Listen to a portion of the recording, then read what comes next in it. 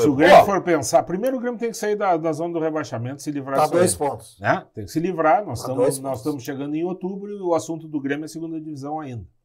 Tá? Com Até um, um ouvinte conta. perguntou aí É. pro Benhur se, Com uma Tá, folha se de o Grêmio conta. tem chance de cair. de Pode ser para vocês 20 dois. milhões. Bom, já está respondido. Primeiro, tem que se garantir na primeira divisão. Né?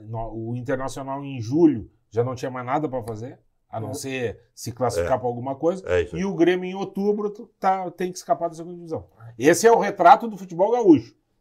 Isso é isso aí que é o futebol gaúcho. Mas teve Agora, enchente. Ah, Teve muito. É, tá. É, A teve enchente está servindo de desculpa, porque Exatamente, né? os erros, os Porque teve gente, Internacional não a teve gente que usou enchente para fazer, É. pra fazer colônia de férias. É.